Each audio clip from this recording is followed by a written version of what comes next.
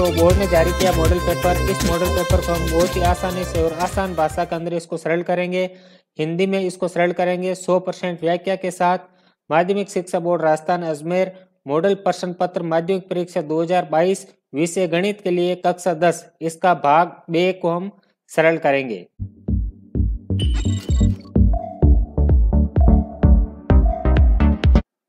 अब हम क्वेश्चन चार को सोल्व करेंगे। हमारे क्वेश्चन है यूक्लिड विभाजन विधि द्वारा 90 और 144 का महत्तम समापर्तक ज्ञात कीजिए। तो इसके अंदर हम सबसे पहले क्या करते हैं? इसमें जो सबसे छोटी संख्या है, उसका बड़ी संख्या में भाग दे देते हैं। तो हमारे पास छोटी संख्या 90 है और बड़ी संख्या एक है। तो 90 का भाग देंगे एक के अंदर। इस प्रकार जब पूरा पूरा भाग चला जाएगा, जिससे भाग देंगे, वही हमारा एस होगा। देखो, नब्बे और एक सौ चौवालीस में से बड़ा कौन है? एक सौ चौवालीस तथा छोटा कौन है? नब्बे। तो नब्बे का भाग देंगे एक सौ चौवालीस में।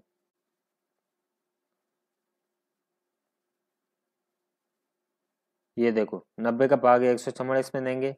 तो कितनी बार गया? एक बार गया। और ये जो पीछे हमारे पास कितना बच गया? चौवन शेष बच गया। फिर हम वापस चौवन का भाग नब्बे में देंगे। तो नब्बे में से चौवन गया। ये बच गया हमारे पास छत्तीस। अब वापस हम छत्तीस का भाग किसमें देंगे? चौपन के अंदर।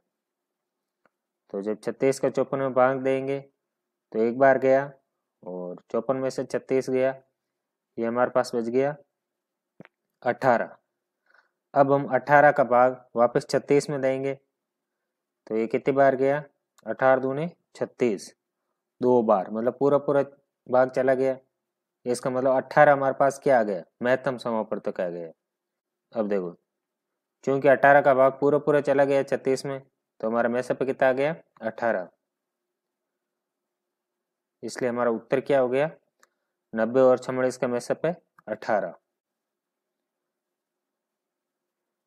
मतलब यूक्लिड विभाजन विधि में छोटी संख्या का बड़ी संख्या में भाग देते जाएँगे। जब तक पूरा भाग चला जाएगा लास्ट के अंदर जो बचेगा, वही हमारा क्या होगा? एसीएफ महत्तम समवर्तक यहाँ जब हम नब्बे का एक सौ चौवालीस में भाग देते जाएँगे तो अट्ठारह हमारे पास लास्ट में आएगा, महत्तम समवर्तक अब हम क्वेश्चन नंबर पाँच को सोल्व करेंगे।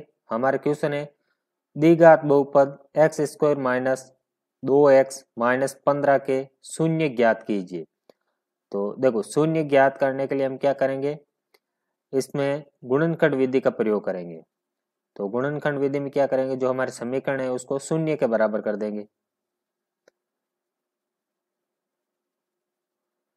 तो ये हमने x square minus two x minus पंद्रह बराबर ज़ीरो अब हमें क्या करना है? इस टू एक्स के फैक्टर करना है।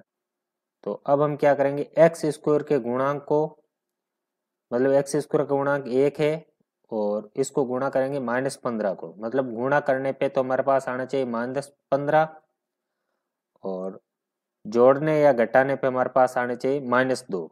तो इसका हम टुकड़े सोचेंगे तो इसका हो जाएगा माइनस का पाँच और प्लस का तीन। क्योंकि जब माइनस पाँच को प्लस के तीन से गुणा करेंगे तो आ जाएगा माइनस का पंद्रह। और माइनस पाँच में से प्लस के तीन को घटाएँगे तो आ जाएगा माइनस दो।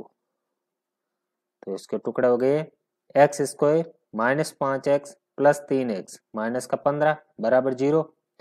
अब यहाँ से जो फ़र्स्ट पद है एक्स स्क्वायर माइनस पाँच एक्स, इसमें से हमने एक्स कॉमन ले लिया।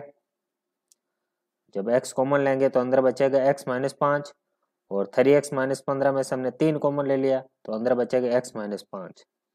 फिर यहाँ से हमने वापिस एक्स माइनस पाँच को कॉमन ले लिया तो हमारे पास क्या बचेगा? एक्स प्लस थ्री बराबर ज़ीरो। अब इन दोनों को क्या करेंगे? x माइनस पाँच को जब ज़ीरो के बराबर करेंगे तो x बराबर आ जाएगा पाँच, और x प्लस तीन को ज़ीरो के बराबर करेंगे तो x बराबर आ जाएगा माइनस तीन।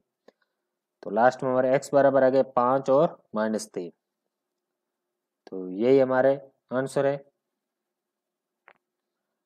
मतलब इसके शून्य क्या होंगे माइनस तीन और पाँच। मतलब हमारे पास जो दिगात बहुपद है x square minus two x minus पंद्रह इसको सबसे पहले ज़ीरो के बराबर करके और इसके गुणनखंड करेंगे तो वो हमारे पास आ जाएँगे पाँच और माइनस तीन।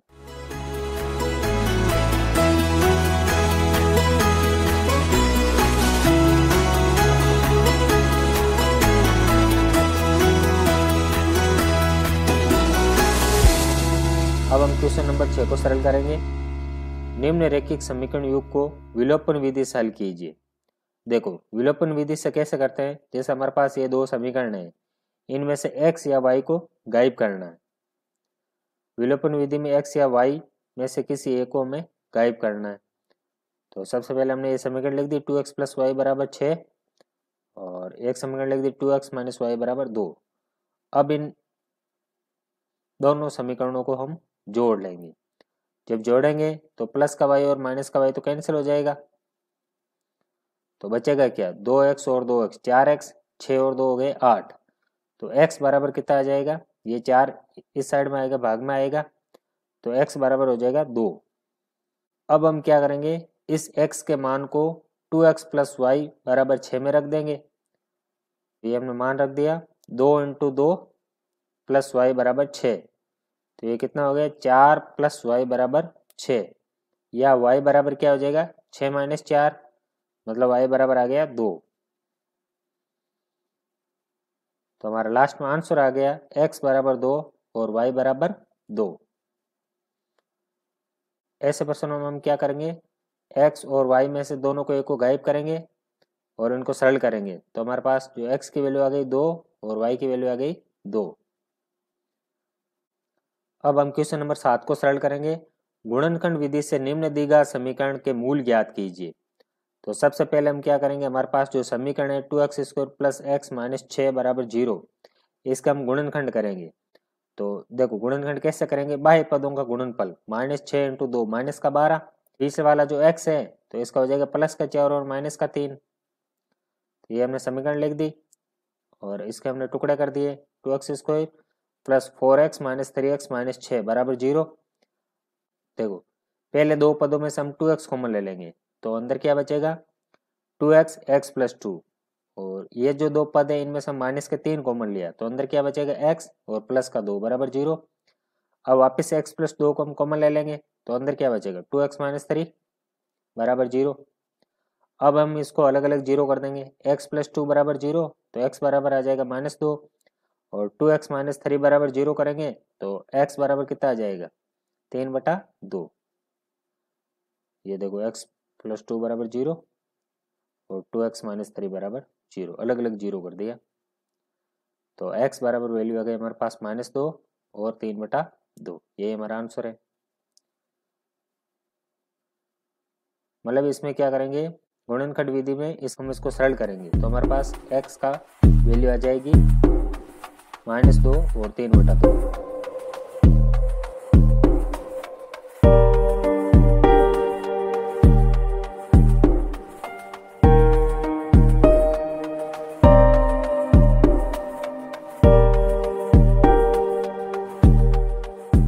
हम क्वेश्चन नंबर आठ को सरल करेंगे।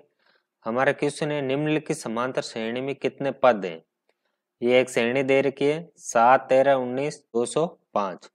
तो इस श्रेणी में हमें पता है, प्रथम पद ए बराबर सात है, तथा जो सार्वंत्र है, द्वितीय पद में से प्रथम पद को घटा लेंगे। तेरह में से सात गया बचा छ और जो इसका लास्ट पद ए एन दे रखा है, दो सौ पाँच। अब देखो एपी का प्रथम पद कितना है? ए बराबर सात सार्वंत्र डी बराबर आ गया तेरह माइनस सात छ और अंतिम पद आ गया दो सौ पाँच, ए एन। समांतर श्रेणी के लिए हम एक सूत्र जानते हैं, ए एन बराबर होता है a plus n minus one into d. तो ए एन का मान रख दिया हमने दो सौ पाँच, ए का मान रख दिया सात, एन माइनस वन और सार अंतर हमारे पास आ गया छ अब हम क्या करेंगे, दो सौ पाँच में से सात को घटा देंगे। बराबर एन माइनस वन इंटू छ। तो ये आ जाएगा एक सौ अंठाणु और जो छ है वो इधर भाग में आ जाएगा, बराबर एन माइनस वन। तो जब ये भाग जाएगा तो आ जाएगा तैतीस, बराबर एन माइनस वन तो एन बराबर आ गए हमारे पास चौतीस। यही हमारा आंसर है।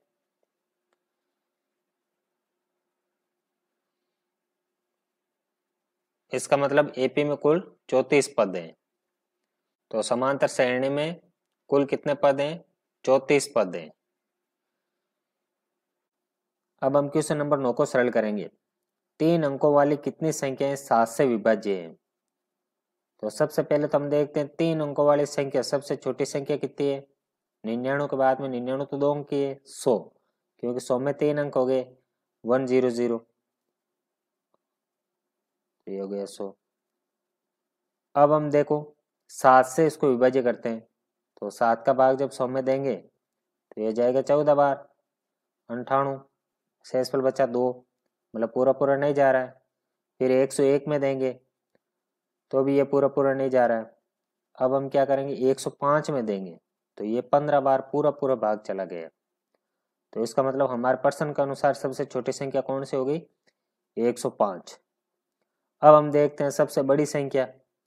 हमें पता है सबसे बड़ी संख्या तीन अंकों वाली होती है, नौ नौ नौ नौ सौ निन्याणु अब हम देखते हैं, नौ सौ निन्याणु सात का भाग देते हैं।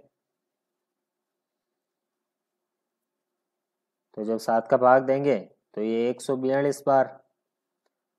और पीछे बचा पाँच, शेषफल बच गया। इसका मतलब हम नौ सौ चौराणु में देखते हैं तो इसमें सात का भाग एक सौ बयालीस बार पूरा पूरा चला जाता है।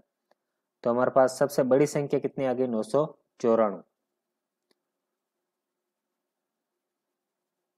तो हमारे पास जो प्रथम पद मतलब एक सौ पाँच और सार्वंतरिक में सात सात को जोड़ते जाएँगे तो एक सौ पाँच और सात एक सौ बारह। इस प्रकार ये श्रेणी चलती रहेगी और लास्ट पद आ जाएगा नौ सौ चौराणु तो इस श्रेणी में हमारे पास प्रथम पद ए बराबर हो गया एक सौ पाँच और लास्ट पद ए एन बराबर हो गया नौ सौ चौराणु और जो सार्वंतर है, वो आ गया सात। एक सौ बारह में से एक सौ पाँच गया सात। अब हम एपी के लिए फॉर्मूला जानते हैं। ए एन बराबर होता है a plus n minus one into d और ए एन का मान हमारे पास है नौ सौ ए का मान है एक सौ पाँच। एन माइनस वन और डी चार अंतर है जो सात। ये मान हम इसमें रख देंगे सूत्र में। तो अब देखो। नौ सौ चौरानवे से एक सौ पाँच को घटा दो। बराबर क्या बचेगा? एन माइनस वन सात। जब नौ सौ चौरानवे को एक सौ पाँच में से घटाएँगे तो ये हमारे पास बचेगा आठ सौ गुण नब्बे और ये जो सात है, ये इधर भाग में आ जाएगा। पीछे बचेगा एन माइनस वन। तो जब हम इसको सरल करेंगे तो ये आ जाएगा एक सौ सत्ताईस बराबर एन माइनस वन। और ये जब माइनस का वन इस साइड में आएगा तो ये हो जाएगा प्लस का मतलब एन बराबर आ जाएगा एक सौ अट्ठाईस। तो हमारा लास्ट आंसर हो गया तीन अंकों वाली एक सौ अट्ठाईस संख्याएँ सात से विभाज्य। है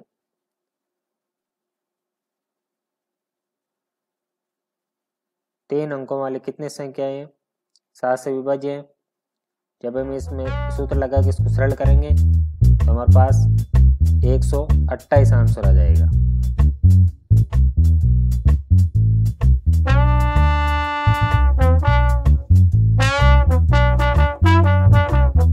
हमारे किसी ने पाँच सेमी लंबा एक रेखाखंड खींचे और इसे दो अनुपात तीन में विभाजित कीजिए।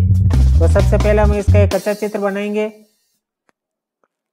सर्वप्रथम स्केल की सहायता से पाँच सेमी का एक रेखाखंड खींच लेते हैं, जिसको नाम हमने ए बी दिया। बिंदु ए पर नब्बे से कम का एक कोण बनाते हैं, तीस डिग्री का बी एस रेखा एसी को इस प्रकार पाँच भागों में विभाजित कर देते हैं। पाँच बिंदु से बी को मिलाकर इसका कोण माप लेते हैं, फिर इसी के समांतर दो से एक फिर इसी के समांतर एक रेखा बिंदु दो से खींचते हैं, जो कि रेखा ए, बी को दो अनुपात तीन में विभाजित करती है।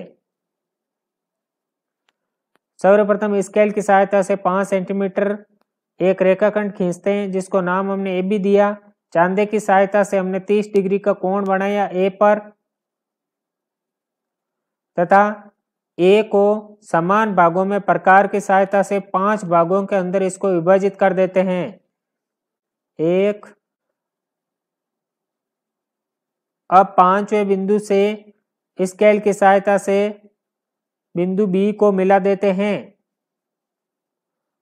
और इनको नाम हम देते हैं एक, दो, तीन, चार, पाँच।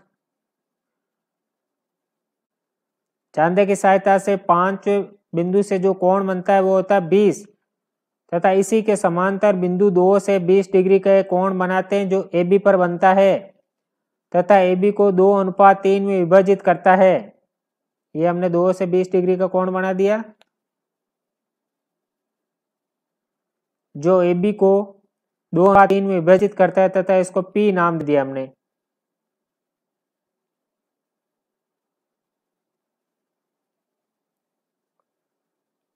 पाँच सेंटीमीटर की एक रेखा खींचते हैं स्केल की सहायता से तथा प्रकार की सहायता से पाँच भागों में विभाजित करके चित्र अनुसार इस रचना को कंप्लीट करते हैं, जो कि रेखा को दो अनुपात तीन में विभाजित करती है। अब हम क्वेश्चन नंबर ग्यारह को सरल करेंगे। हमारे क्वेश्चन है, पाँच सेमी त्रिज्या के एक वर्त पर दो स्पर्श रेखाएँ खींचिए, जो परस्पर साठ डिग्री के कोण पर झुकी हो। तो सबसे पहले हम इसमें कच्चा चित्र बनाते हैं। ये एक वर्त बनाया इस पर दो स्पर्श रेखा एक इंची जो कि साठ डिग्री के कोण पर झुकी हुई है। अब हम स्केल की सहायता से पाँच सेमी त्रिज्या का एक वर्त खींचते हैं। तथा इस वर्त के अंदर एक छोटा वर्त खींचते हैं।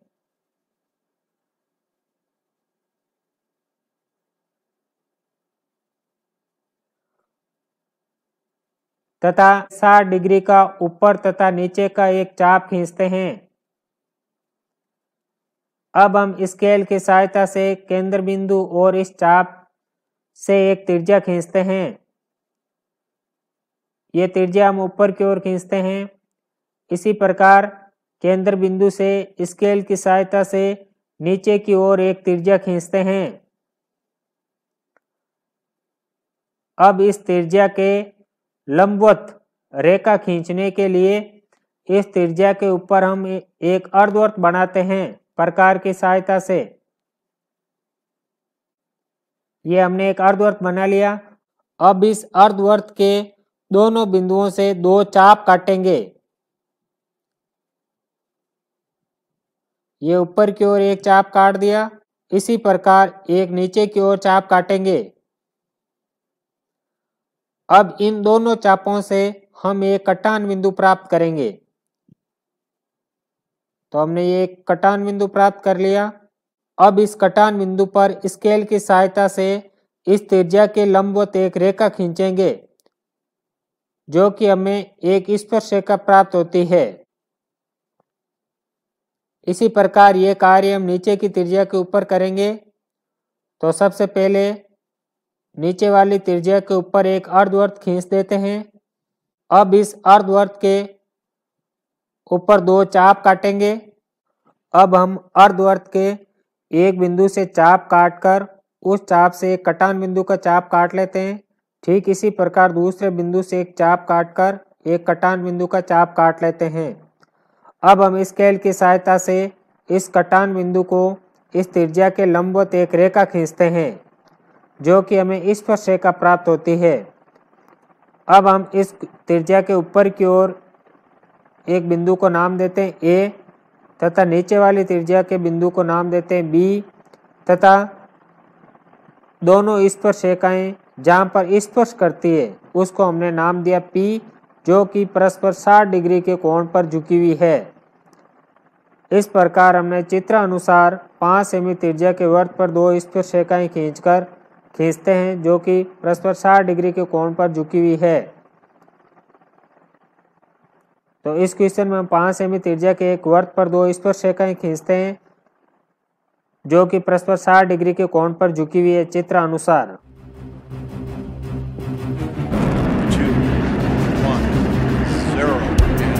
Lift off of Space Shuttle Atlantis on a mission to build, resupply,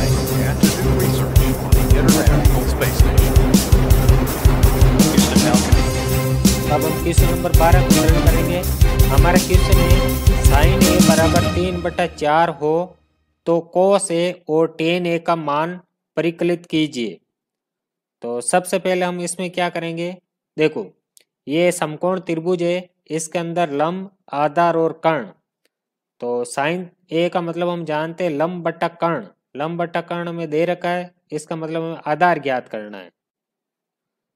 तो ये लाल बटा कका से हम इसको करेंगे। साइन ए मतलब लंब बट्टा कर्ण ये हमें दे रखा है तीन बट्टा चार। तो आधार हम क्या करेंगे? कर्ण स्क्वायर बराबर, लंब स्क्वायर प्लस आधार स्क्वायर के सूत्र से ज्ञात कर लेंगे। तो इसमें हमें लंब तो तीन दे रखा है कर्ण चार दे रखा है। आधार हमें ज्ञात करना है। तो ये हमने लिख दिया कर्ण का स्क्वायर मतलब चार का स्क्वायर बराबर लंब का स्क्वायर तीन का स्क्वायर प्लस आधार का स्क्वायर चार का स्क्वायर में पता होता है सोलह और तीन का स्क्वायर होता है नौ। जब इस नौ को इधर लाएँगे तो ये माइनस का हो जाएगा, बराबर आधार का स्क्वायर तो सोलह में से नौ गया बच्चा सात, बराबर आधार का स्क्वायर तो आधार बराबर आ गए हमारे पास अंडर रूट सात। अब हमें कोस ए का मान ज्ञात करना है। तो हम जानते हैं कोस ए बराबर होता है आधार बटा कर्ण तो कोस ए बराबर हमने लिख दिया, आधार कितना आया? अंडरूट सात और बटा कर्ण कितना है? चार। इसी प्रकार हम टेन ए का मान ज्ञात करें। टेन ए का मान होता है लम बटा आधार। तो लम हमारे पास तीन है और आधार है अंडरूट सात। तो टेन ए बराबर हो गया तीन बटा अंडरूट सात। तो हमारा क्वेश्चन था कि साइन ए का मान तीन बटा चार हो तो कोस ए और टेन ए का मान ज्ञात करना है। तो हमने इस प्रकार ये मान ज्ञात कर लिए, जो कोस ए का मान हमारे पास आया अंडरूट सात बट्टा चार और टेन ए का मान हमारे पास आया, तीन बट्टा अंडरूट सात। अब हम क्वेश्चन नंबर तेरह को सोल्व करेंगे। हमारे क्वेश्चन है निम्नलिखित का मान निकालिए तो दो टेन स्क्वायर पैंतालीस डिग्री प्लस कोस स्क्वायर तीस डिग्री माइनस साइन स्क्वायर साठ डिग्री। तो सबसे पहले हम क्या करेंगे? टेबल से इनका मान लिख देंगे। तो ये हमारे पास टेबल है। और ये हमारे पास दो टेन स्क्वायर पैंतालीस डिग्री प्लस कोस स्क्वायर तीस डिग्री माइनस साइन स्क्वायर साठ डिग्री। इनके में मान रखना है। तो हम जानते हैं टेन पैंतालीस का मान एक होता है। तो ये मान हमने रख दिए। दो इंटू एक का स्क्वायर प्लस कोस तीस डिग्री का मान होता है अंडरूट तीन बटा दो और इसका स्क्वायर माइनस साइन साठ डिग्री का मान होता है अंडरूट तीन बटा दो और इसका स्क्वायर। तो जब ये देखो, प्लस का और ये माइनस का, ये दोनों तो आपस में कैंसिल हो जाएँगे तो बचेगा क्या? दो इंटू एक बराबर दो। तो हमारा आंसर आ गया दो। हमें मतलब क्या करना है? टेबल से इनके मान रख देना है। दो टेन स्क्वायर पैंतालीस डिग्री प्लस कोस स्क्वायर तीस डिग्री माइनस साइन स्क्वायर साठ डिग्री। जब इसको ऐड करेंगे तो हमारा आंसर आ जाएगा दो।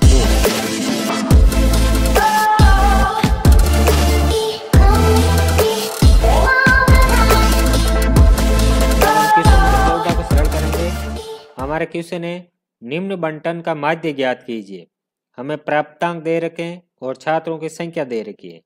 प्राप्तांक है पच्चीस, पैंतीस, पैंतालीस, पचपन, पैंसठ और छात्रों की संख्या है चार, अट्ठाईस, बयालीस, बीस और छ तो सबसे पहले हम क्या करेंगे? हम इसकी एक सारणी बना लेंगे।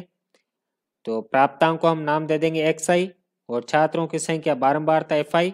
फिर इन दोनों का गुणनफल कर लेंगे और माध्य का सूत्र लगा लेंगे। तो देखिए, सबसे पहले हमने एक्स आई का मान लिख दिया। पच्चीस, पैंतीस, पैंतालीस, पचपन, पैंसठ। फिर हमने एफ़ का मान रख दिया, छात्रों की संख्या का।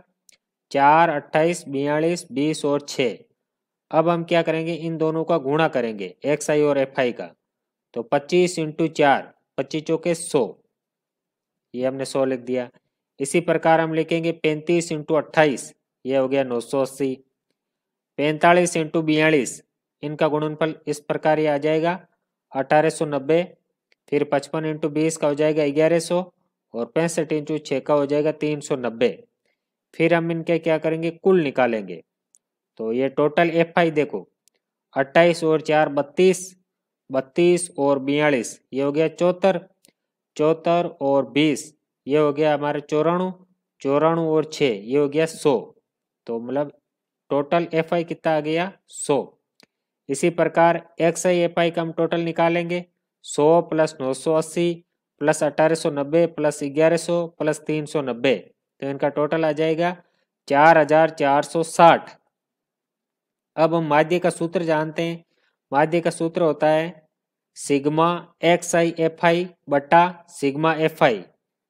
अब हम इसका मान रख देंगे। Sigma x i f i का मान है चार हज़ार चार सौ साठ और सिग्मा एफ़ आई का मान हमारे पास है सौ।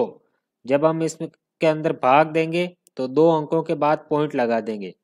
तो हमारा आंसर आ जाएगा छम्मालीस पॉइंट छ ज़ीरो। अतः दिए गए बंटन का माध्य चवालीस पॉइंट छ ज़ीरो है।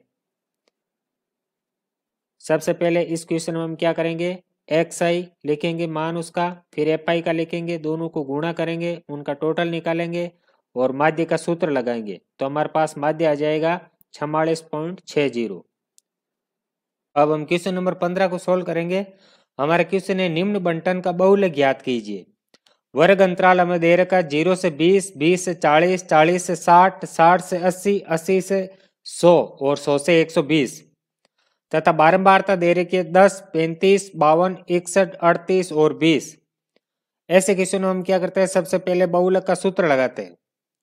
तो बहुलक का सूत्र होता है हमारे पास l plus f one minus f zero बट्टा। दो f one minus f zero minus f two into h h होता है वर्ग अंतराल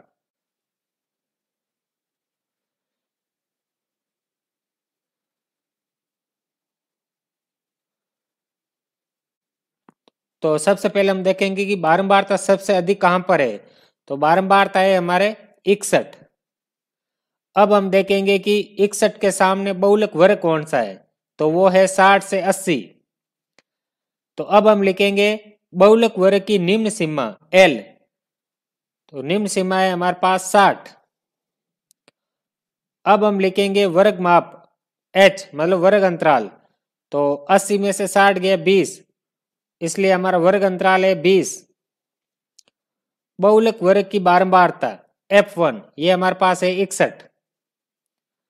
अब हम लिखेंगे बहुलक वर्ग से ठीक पहले वाले वर्ग की बारंबारता F0 तो इकसठ से पहले है बावन। तो एफ़ ज़ीरो का मान हो गया हमारे पास बावन। अब हम लिखेंगे बहुलक वर्ग के ठीक बाद में आने वाले वर्ग की बारंबारता एफ़ टू ये हमारे पास अड़तीस। एफ़ टू का मान लिख दिया हमने अड़तीस। अब हम इन सभी मानों को इस सूत्र में रखेंगे बहुलक में। तो ये हो जाएगा साठ प्लस इकसठ माइनस बावन। बट्टा दो इंटू इकसठ, माइनस बावन, माइनस अड़तीस, गुणा बीस। बीस है वर्ग अंतराल तो ये हो गया साठ प्लस इकसठ में से बावन गया, बचा नौ। और जब हम नीचे वाले हर को सरल करेंगे तो ये आएगा बत्तीस, गुणा बीस। इसका मान हमारे पास आ जाएगा पैंसठ पॉइंट छ दो पाँच। अतः हमारे पास बंटन का बहुलक हो गया पैंसठ पॉइंट छ दो पाँच। इस क्वेश्चन में हम सबसे पहले बहुल का सूत्र लगाएँगे, उसके बाद में उस सूत्र में मान रखकर हम बहुल ज्ञात करेंगे, जो हमारे पास आएगा पैंसठ पॉइंट छ दो पाँच।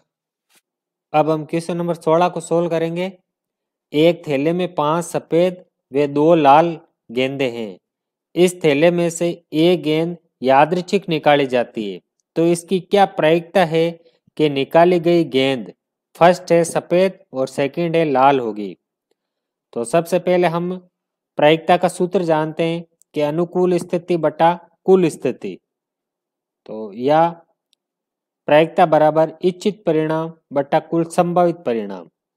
तो सबसे पहले हम क्या करेंगे? कुल गेंदे हमारे पास पाँच सफ़ेद और दो लाल है। तो पाँच और दो सात, ये हो गए हमारे कुल संभावित परिणाम। अब हमें फ़र्स्ट क्वेश्चन में सफ़ेद गेंद के लिए निकालनी है प्रायिकता तो हम लिखेंगे, सफ़ेद गेंद आने की प्रायिकता, सफ़ेद गेंद बटा कुल गेंद तो सफ़ेद गेंद हमारे पास कितनी है? पाँच, और कुल गेंद हमारे पास सात तो ये हो जाएगा पाँच बटा सात। इसी प्रकार, लाल गेंद के लिए हमारे पास लाल गेंद दो है, और कुल गेंद सात है तो हम क्या लिखेंगे? लाल गेंद आने की प्रायिकता बराबर, लाल गेंद बटा कुल गेंदे। तो लाल गेंद कितनी है? दो, और कुल गेंदे सात। तो दो बटा सात। तो अब हम इसमें क्या करेंगे? शॉर्टकट, कि भाई हमारे पास पाँच सफ़ेद है और दो लाल है। तो सफ़ेद निकालेंगे तो सफ़ेद ऊपर लिख देंगे और नीचे लिख देंगे कुल। तो सफ़ेद के लिए हो जाएगा पाँच बटा सात। इसी प्रकार लाल के लिए दो है तो दो बटा सात।